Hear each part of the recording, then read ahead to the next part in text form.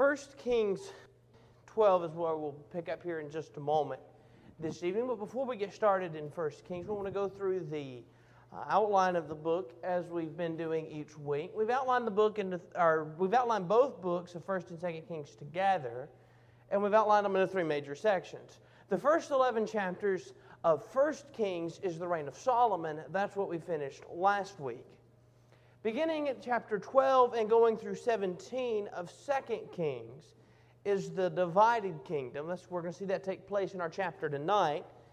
And then in chapter 17 is 18 through 25 is where we have recorded for us the falls of both Israel and the fall of Judah. And so that's how we have the book outlined. So we'll begin that second section tonight on the divided kingdom.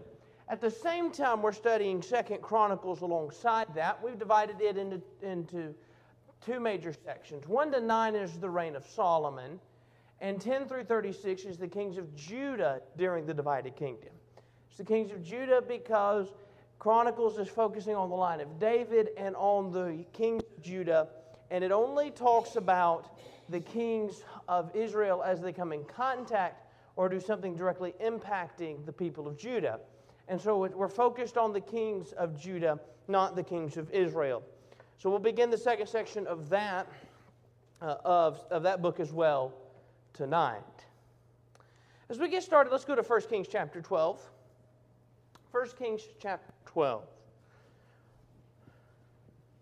The first 15 verses of 1 Kings 12, which also parallel to the first 15 verses of 2 Chronicles 10, is Rehoboam's poor judgment and his poor decision that leads to the kingdom dividing. Let's pick up at verse 1. Then Rehoboam went to Shechem, for all Israel had come to Shechem to make him king. Now, when Jeroboam the son of Nebat heard of it, he was living in Egypt for he was yet in Egypt where he had fled from the presence of King Solomon.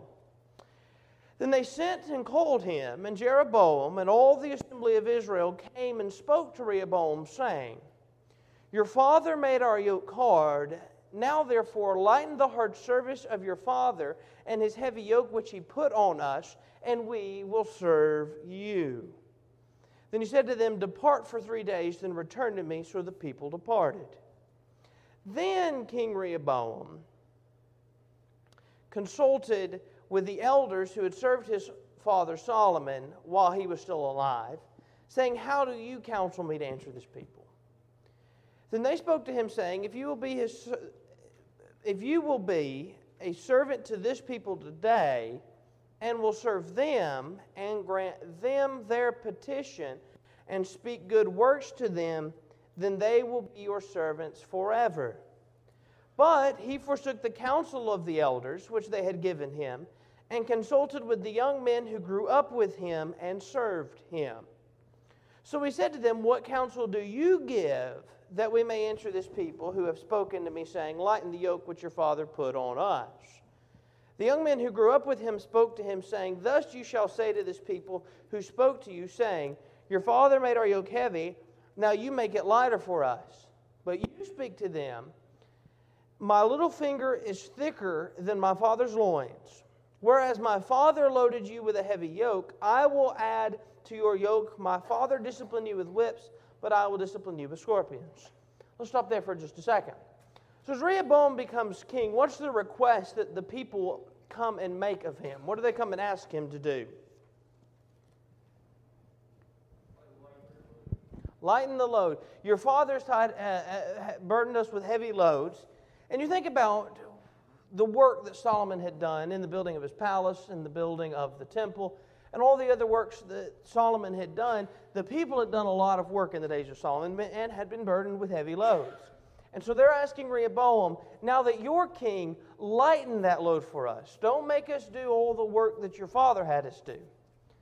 Rehoboam, and this part was initially very wise, decides to seek counsel on that.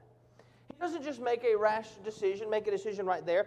He says, Give me three days. He asks first, Give me some time that I can seek out counsel and think about what I need to do to make this, or to make this decision. He's not rash in making this decision. It's not something he does right off the bat. Give me time. Initially, that was very wise as he asked for this time. But in that time, Rehoboam decides to talk to two different groups of people. And who are they? One group was the elders. Here are the people that had counseled his father Solomon. Who's the other group? The young men who grew up with him. So Rehoboam first goes to the elders, goes to the people that counseled his father. That was the wise thing to do. And they, he asked them, you know, what should I do? And what's their reply to him? What, is he, they, what do they say he needs to tell them?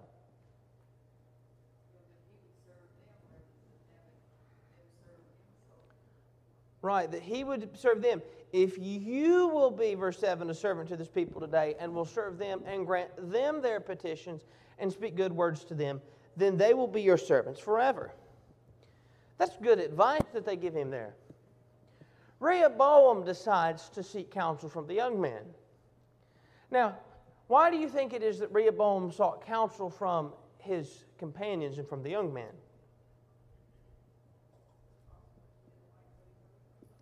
Possible he didn't like what he heard, right?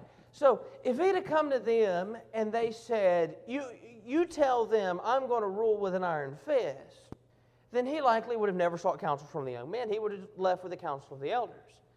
But he, came, he, he comes to seek counsel, and they say, instead of you making them your servants, you be a servant to them. That didn't sound very good to Rehoboam. And so you, you can imagine as Rehoboam comes to hear that it's likely that as he hears this advice given to him, he thinks, well, why would I, being the king, be a servant to them? And so he goes and he asks his friends. He asks those close to him. He asks those that grew up with him. What do the young men tell him to do?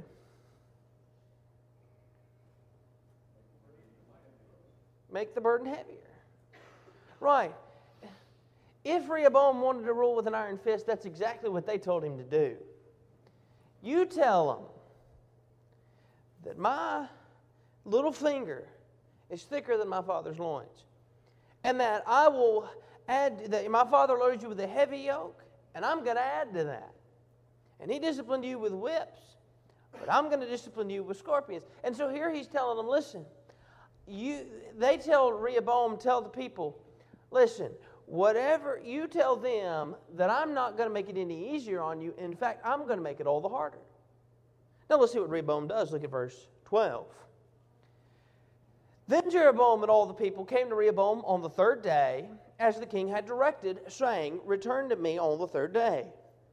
The king answered the people harshly, for he forsook the advice of the elders which they had given him. And he spoke to them according to the advice of the young men, saying, My father made your yoke heavy, but I will add to your yoke. My father disciplined you with whips, but I will discipline you with scorpions. So the king did not listen to the people, for it was a turn of events from the Lord that he might establish his word, which the Lord spoke through Ahijah the Shilonite to Jeroboam the son of Nebat. So here, after this takes place, and we'll see this here in, beginning at verse 16 in a moment, it's where the kingdom's going to divide. But they've asked him, You lighten our load. He comes to them and says exactly what the young men told him to say I'm not going to lighten the load. In fact, I'm going to make the yoke heavier. I'm going to discipline you with scorpions instead of disciplining you with whips. And the people aren't pleased with that. The people are not happy about that. But there's something we need to note in verse 15. We're awfully harsh on Rehoboam for what he did, and rightfully so. This was poor judgment on Rehoboam's part. But remember, when the kingdom divides, God already said that's what's going to take place. Remember what happened, what was told to Jeroboam as we saw last week in chapter 11? When Solomon's son would reign, what would happen?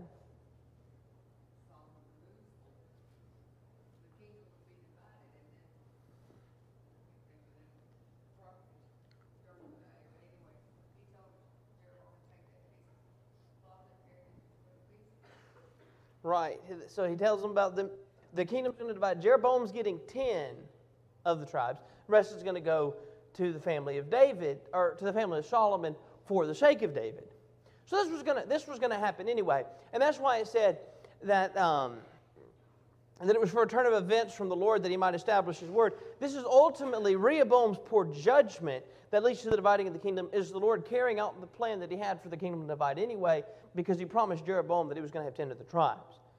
But Rehoboam makes a poor, poor decision here in not listening to the advice of the elders.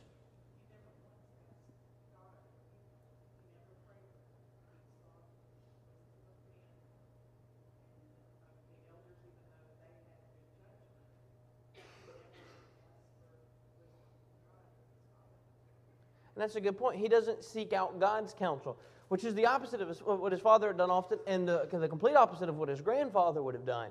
Um, you think about as you move throughout, from Rehoboam on as the kingdom divides, and we follow the southern kingdom, it's going to list really two what, things about the kings of Judah.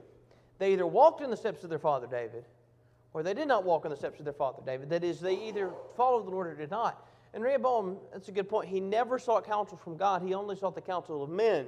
And then, even at that, he didn't even listen to the best counsel that was given him. He listened to the one that seems to please him the most.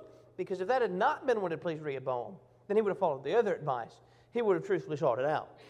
So the result of that is in 16 to 20, which is also recorded in 16 to 19 of 2 Chronicles 10, is where the kingdom is going to divide. When all Israel saw that the king did not listen to them, the people answered the king, saying, What portion do we have in David? We have no inheritance in the son of Jesse to your tents, O Israel. Now look after your own house, David. So Israel departed to their tents. But as for the sons of Israel who lived in the cities of Judah, Rehoboam reigned over them.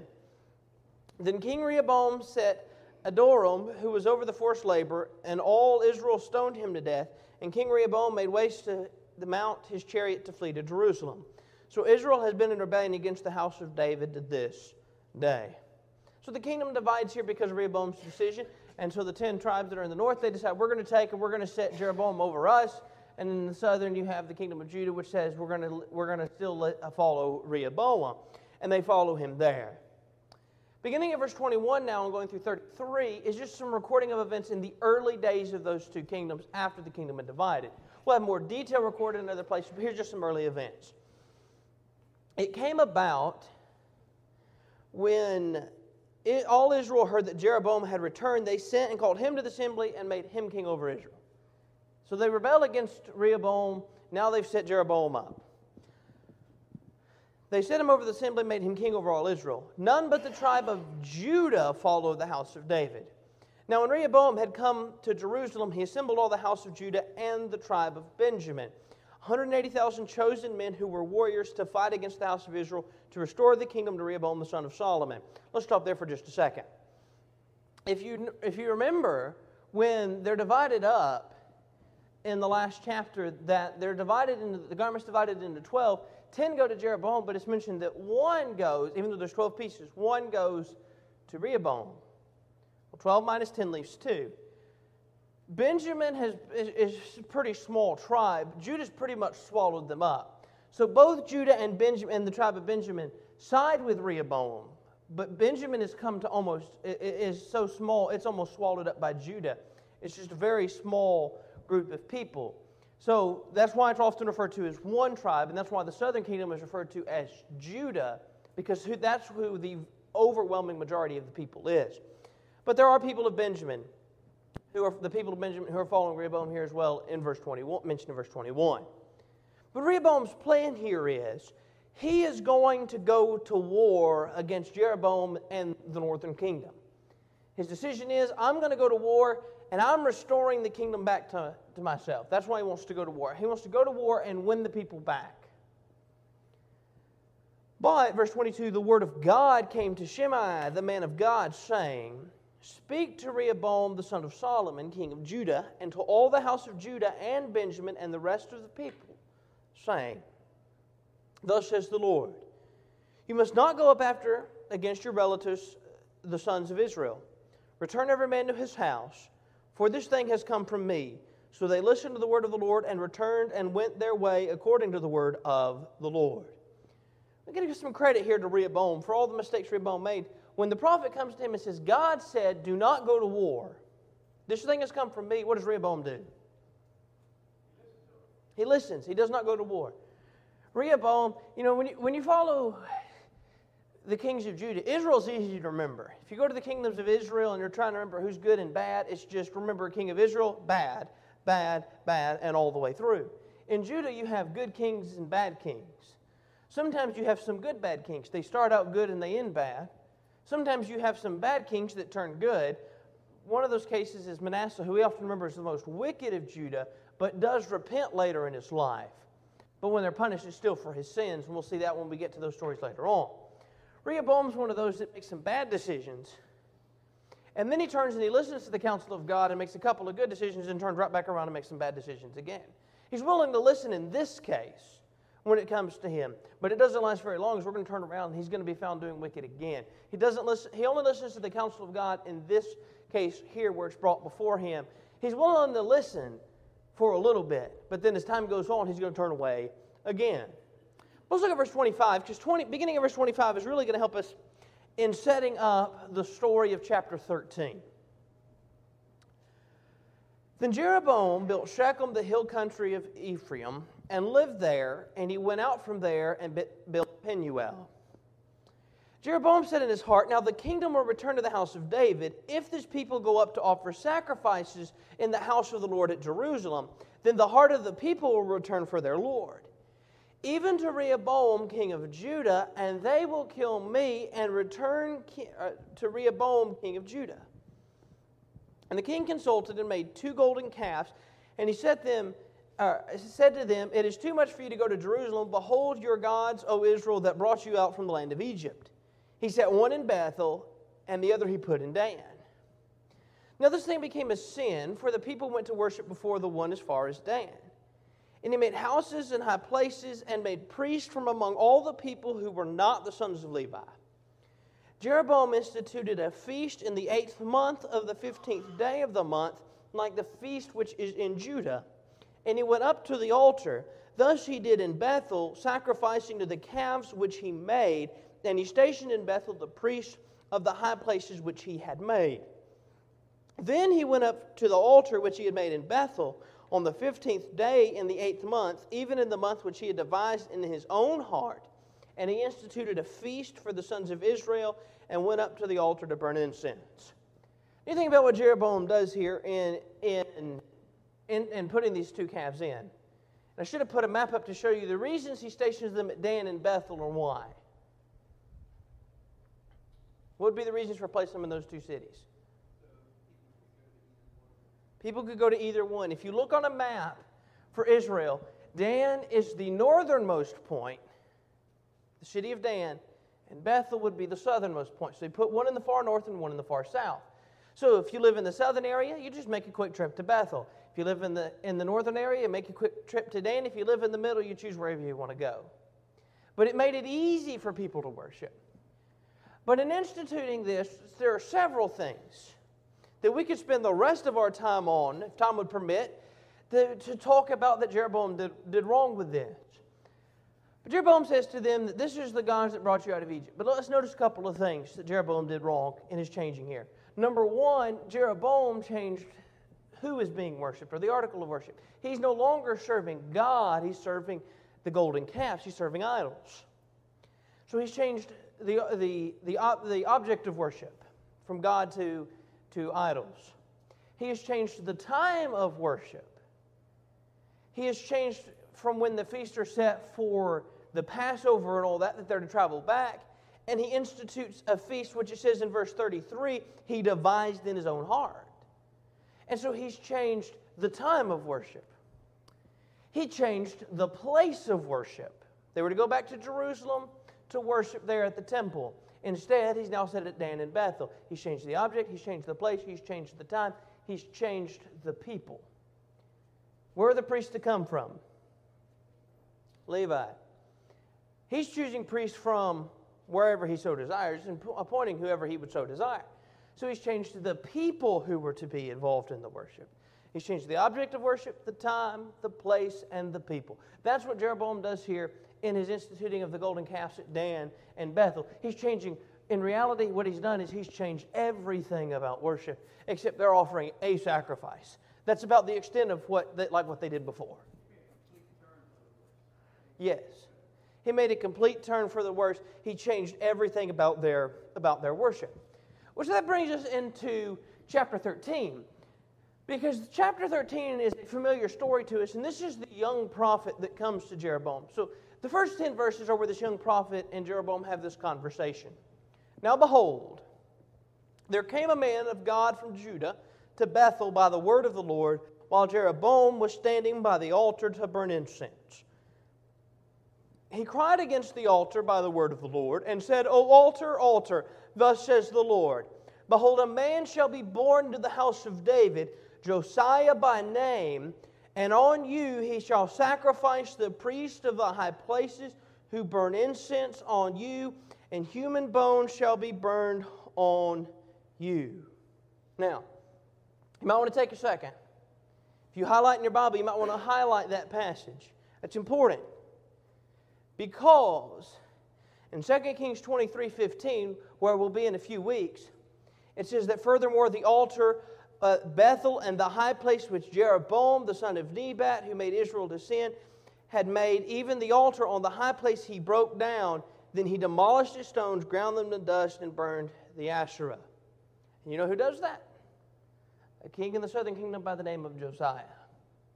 And so this verse is important because we learn in this verse about, about prophecy that God, is, God has pointed and said this is going to take place. It's a long time until Josiah is going to do that.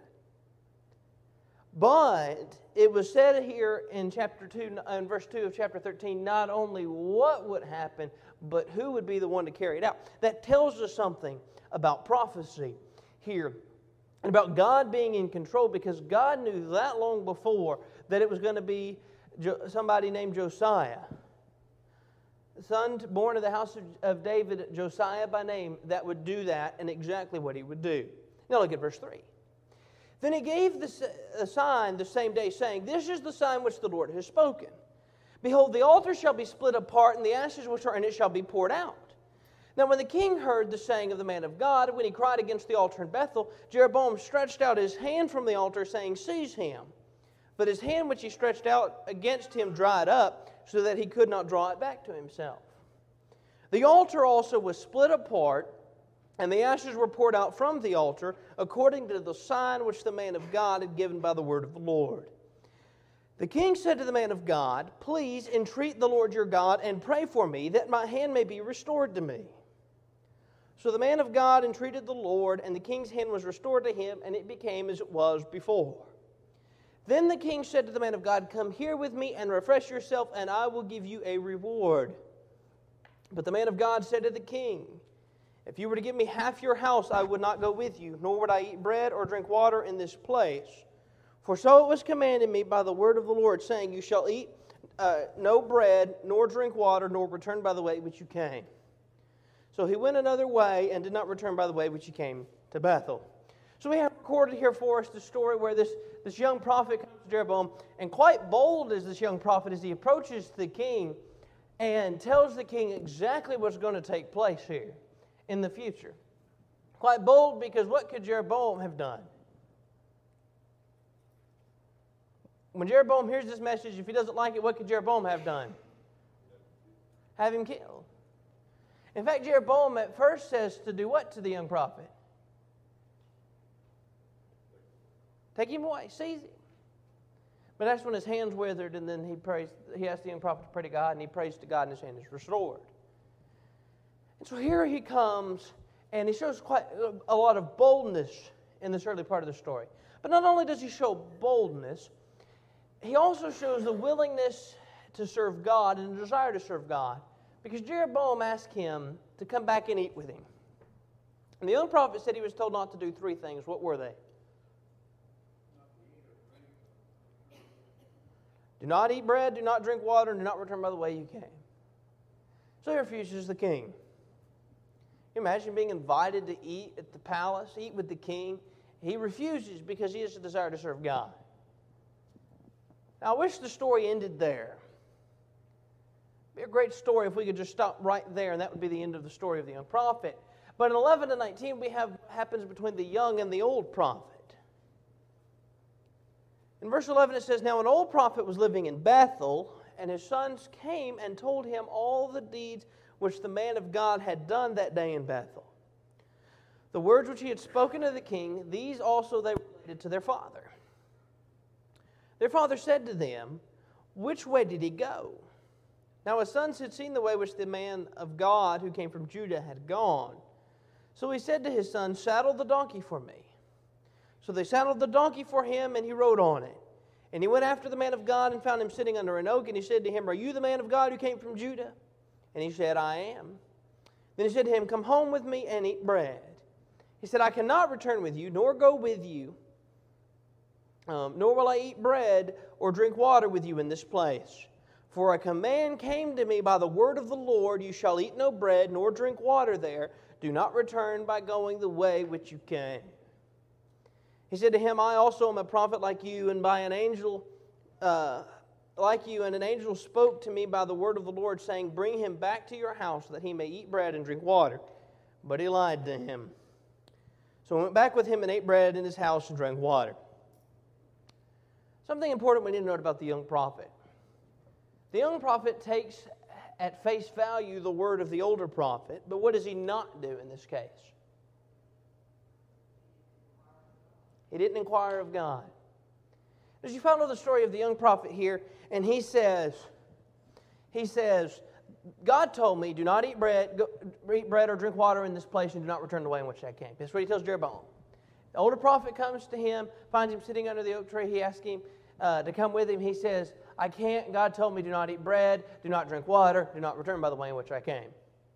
Then the older prophet says, oh, But an angel spoke to me by the word of the Lord, saying to take you back to my house. At that point, the young prophet should have inquired of God to make sure that this man was telling the truth, but he doesn't. Sadly, as the story goes on, that it came about as they were sitting down at the table in verse 20, and this goes on through 32. We won't read all of it for time's sake. That the word of the Lord came to the prophet who had brought him back. And he cried to the man of God who came from Judah, saying, Thus says the Lord, because you have disobeyed the command of the Lord and have not observed the commandment which the Lord your God commanded you, but have returned and eaten bread and drunk water in this place of which he said, Eat no bread, drink no water, your body shall not come to the grave of your fathers. And it came about after he had eaten bread and he had drunk that he saddled a donkey for him for the prophet whom he had brought back. And when he had gone, a lion met him on the way and killed him, and his body was thrown on the road. The prophet pays with his life because he does not inquire of God in this story. Here he's done, he, he, he's done what God told him to do up until this point, but at this moment, he does not inquire of God when he's asked, and he eventually pays with his life. And he does not follow the command God had given him at the beginning. And it ultimately leads to him paying with his life. Something important to note here in this text, because this, this, this text in 1 Kings 13 is very important. What I learned in 1 Kings 13 is it made a difference what he believed. He believed the lie that he was told and not the truth. The command was do not eat bread, do not drink water, do not return by the way in which you came. When he goes in and he eats bread and drinks water, he has broken that commandment and he paid with his life. He believed the lie of the older prophet and did not follow the words or the commands of God. And so that's an important lesson for us to learn in 1 Kings chapter 13. Coming down to verse 33 through 34, we have the fact that Jeroboam doesn't make any changes, he just does more evil deeds. Young prophet comes to him and tells him all this. You would think maybe Jeroboam was scared into doing what was right. No, he continues to do more evil deeds in 33 through 34. Now, chapter 14. Chapter 14.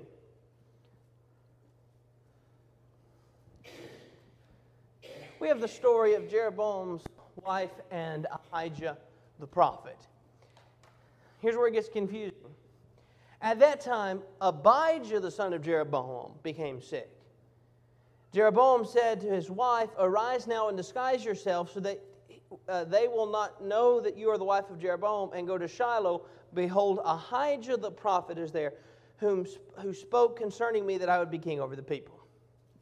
So, for time's sake, we'll move through this rather quickly. But Jeroboam's son Abijah becomes sick. He tells his wife, Go see Ahijah the prophet. This is the prophet that told Jeroboam that he would be king back in chapter 11. He says, Go inquire of Ahijah what's going to happen about our son. And here's what you need to take with you in verse 3 Take 10 loaves and some cakes, a jar of honey, and go to him. He will tell you what will happen to the boy. In verse 4, Jeroboam's wife does so, and she comes to Shiloh. And remember, Jeroboam tells her she needs to do what before she goes? Disguise herself. She gets there, and what happens? He knows who she is. In verse 5, the Lord had told him, Behold, the wife of Jeroboam is coming to inquire of you concerning her son, for he is sick. You shall thus and thus, uh, say thus and thus to her, for it will be when she arrives that she will pretend to be another woman. As you can imagine, she's disguised herself. She's trying to come and deceive him. It says his eyes were dim because of his age in verse 4, and she's disguised herself and comes to the door thinking, There's no way he's going to recognize who I am. He hears the sound of feet coming in the doorway, and he says, Come in, wife of Jeroboam. Why do you pretend to be another woman? For I'm sent to you with a harsh message. You can imagine the shock on the wife of Jeroboam's face as she walks in and she thinks she's disguised herself and she's coming in to see this prophet who's whose eyes are dim because of age. And as she's not even in the doorway, she's walking up to the doorway. He hears her footsteps and says, Come on in, wife of Jeroboam. How she must be taken back by that. But I tell you something that she is going to have to realize at this point is what? Well, she's going to have to realize that he knows without even seeing her who she is. God must have really spoke to him because he was able to tell who she was by her footsteps. There's not just a good guess. All the people in Israel, he's not going to be that good at guessing as to who's walking through his doorway. But what's the message that Ahijah gives to the wife of Jeroboam?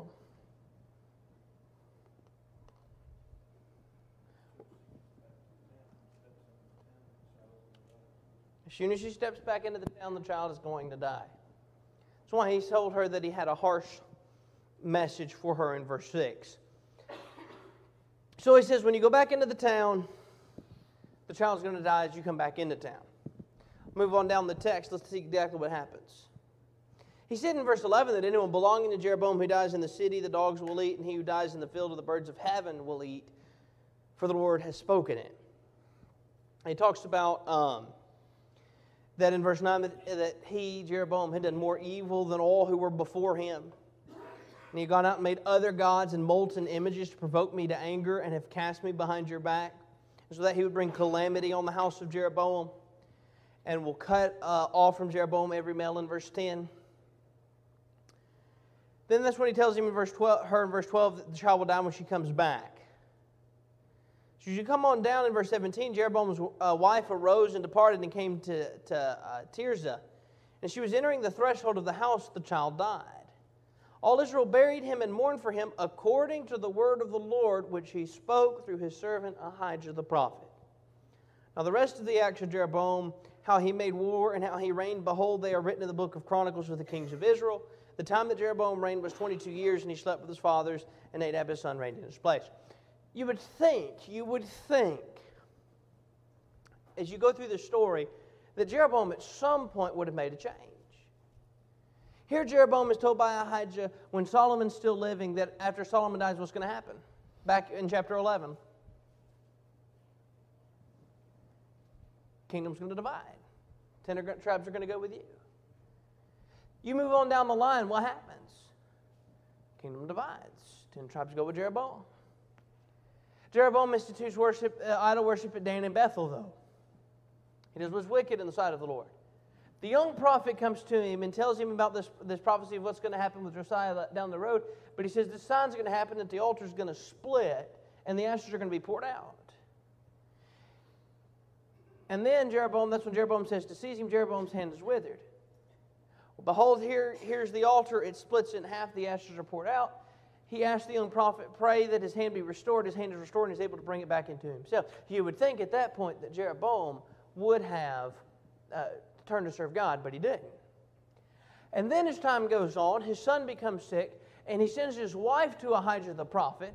And when she comes to Ahijah, he knows who she is before she even gets in the door, and he tells her exactly what's going to happen concerning the kid. Behold, when she gets back and she walks into the doorway, the child dies. Surely she told Jeroboam, and you would think at that point that Jeroboam would have turned to serve God. But you see, Jeroboam that never turns to serve God in spite of all the signs around him. Here's something I need to realize. Sometimes people will not turn to God no matter what happens around them. And so sometimes I think we question when we try and teach others, why is it we're not having success? Why is it all this is going wrong? Sometimes, even though we may give it our best effort, there are those that simply reject the Word of God and want to have nothing to do with it. That's just, unfortunately, the way it sometimes is.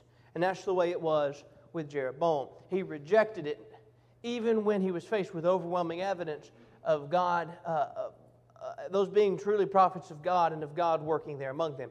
Yet he continued to reject it. Beginning at verse 21 now, which parallels with chapter 11 of Second Chronicles, is some of the early days of the reign of Jeroboam, or Rehoboam rather. When Rehoboam the son of Solomon reigned in Judah, he was 41 years old when he became king, and he reigned 17 years in Jerusalem, and the city which the Lord had chosen from all the tribes of Israel to put his name there, and his mother's name was Naamah uh, the Ammonitess. Judah did evil in the sight of the Lord, and they provoked him to jealousy more than all their fathers had done with the sins which they committed. For they built for themselves high places and sacred pillars, and Asherim on every high hill and beneath every luxuriant tree. They also made cult, male cult prostitutes in the land. They did according to all the abominations of the nations which the Lord dispossessed before the sons of Israel. Now it happened in the fifth year of King Rehoboam that Shishak the king of Egypt came up against Jerusalem. He took away the treasures of the house of the Lord and the treasures of the king's house, and he took everything, even taking all the shields of gold which Solomon had made. So King Rehoboam made shields of bronze in their place and committed them to the care of the commanders of the guard who guarded the doorway of the king's house. Then it happened as often as the king entered the house of the Lord that the guards would carry them and would bring them back to the, into the guard's room. Now, the rest of the acts of Rehoboam and all that he did, are they not written in the books of the chronicles of the kings of Judah? There was war between Rehoboam and Jeroboam continually, and Rehoboam slept with his fathers and was buried with his fathers in the city of David. And his mother's name was Naamah the Ammonitess, and Abijam his son became king in his place. And so, over in Second Chronicles 11, it records more about uh, that. It talks about him living in Jerusalem and some cities that he built, uh, beginning at verse 5. Um, it talks about his descendants beginning at verse 18 and going through verse 23. That's the end of the chapter in chapter 11. And so it records some more uh, details for us in, in 2 Chronicles 11. But here's something important to remember from the, from the reign of Rehoboam God was not with them because of the evil they did. But here's an important phrase they ended up becoming like who?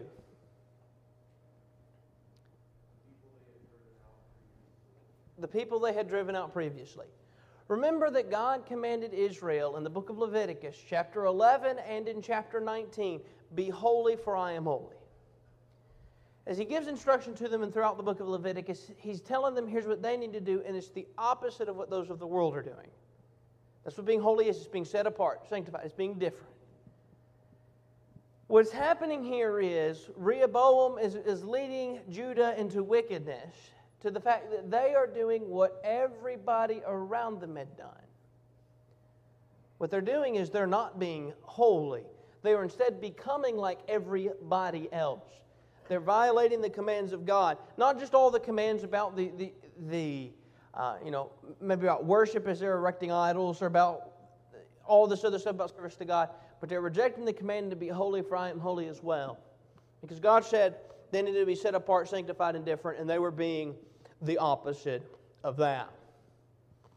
Now, beginning at verse 8 and one thing going through verse 8 of, of uh, chapter 15 of 1 Kings, which is also recorded in 2 Chronicles 13, is about the reign of um, Abijam.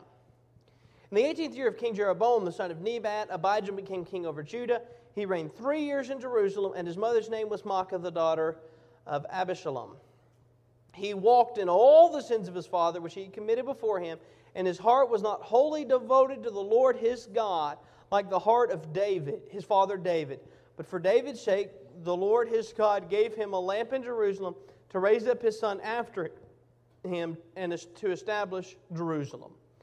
Because David did what was right in the sight of the Lord and did not turn aside from anything that he commanded all the days of his life, except in the case of Uriah the Hittite there was war between Rehoboam and Jeroboam all the days of his life. So as you move through this text here, as it talks about Abijam, Abijam continues to do exactly what Rehoboam did. He continues in all those sins, but God doesn't take the kingdom away from him completely. God does not cut him off because of what? His promise to David. Because of the promise he had made to David, he does not completely cut them off. And he, so he's keeping that promise that he made to uh, David. Now, uh, the rest of the acts of Abijam and all that he did are they not written in the book of Chronicles, verse 7? And he slept with his fathers and was buried in the city of David. In the 20th year, uh, Asa becomes king, and that's recorded for us in 9 through 24. i read this rather quickly. Asa did what was right in the sight of the Lord in verse 11, like his father David. He put away the male cult prostitutes from the land and removed all the idols his father had made. He removed Micah, his mother. Listen to this. Micah, his mother, from being queen mother because she made a horrid image of an Asherah. And Asa cut down her horrid image and burned it from the brook Kidron. But the high places were not taken away, nevertheless. The heart of Asa was wholly devoted to the Lord all his days. He brought into the house of the Lord the dedicated things of his father and his own dedicated things, silver and gold and utensils. So as you move through the story here of Asa, Asa is the opposite of his father and his grandfather. He's more like David. He does follow the Lord. In fact, one of the things that he does is he removes his own mother from being the queen mother because of, of the horrid image that she had made of an Asherah. There was no nepotism with him. He was making sure that everybody was serving God, and when he found somebody, even his own mother, doing what was wrong, he removed her from being the queen mother. He showed no nepotism, there was no favoritism.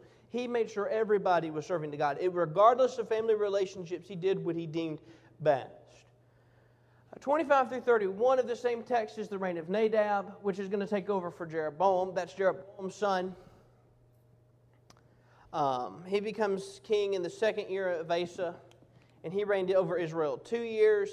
And then down in verse 32, um, after Nadab has died, Baasha becomes king.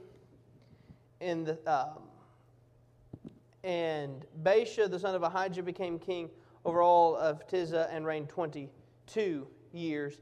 And he was at war with Asa uh, Asa and Judah and Baasha, the king of Israel, were at war all their days, according to verse 32. That's recorded in more detail over in chapter uh, 15, in 14 and 15 of Second Chronicles. Now, we've run through that rather quickly, but let's talk about some practical lessons and practical application we can make of these texts. So we've got a couple of minutes left. I think the first thing we need to note is the importance of good counsel. Rehoboam needed to seek counsel. He needed to seek counsel from God, but if he was going to seek counsel from men, what he should have done was listen to the wiser of the men. Instead, Rehoboam sought the advice of his, uh, uh, of his close companions and those his own age. He sought out counsel, yes. A lot of times we tell people they should seek out counsel, but when you seek out counsel from the wrong places, it's not any, any good at all. They sought out counsel um, from both the elders and the young men, but he followed the counsel of the young men. Learned something about God being in control. I learned that from the power of prophecy. Because God prophesied, here's what's going to happen, and Josiah is eventually going to destroy an altar. When we get to 2 Kings 23, that's what's going to take place. God told Jeroboam's wife through Ahijah the prophet that um, the son would Abijah would die when she came back into the city, and when she came back in there, Abijah died. It's exactly as God said it was going to be. God is in control. God knows what's going to happen. And we learn that through prophecy. I also see it makes a difference what one believes. I see that in the story of the young prophet.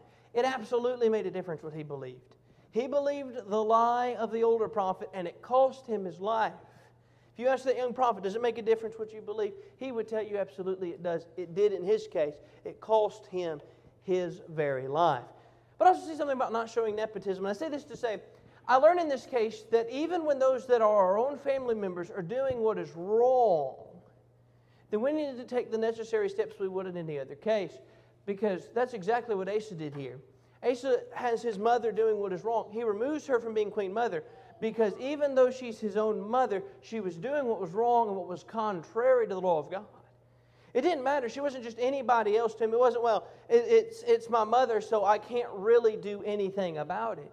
He did what he deemed necessary, regardless of family relationships, because, and this is not on the board, but this is important to remember, the relationship to God became first to Asa. And that's what we need to remember.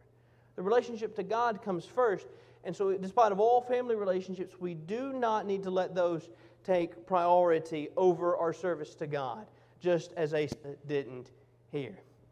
Next week, we're going to study chapter 16 through 19 of 1 Kings and chapter 16 and 17 of Second Chronicles. We'll finish up the stories of the kings, um, the kings that are there. Thank you for your attention this evening.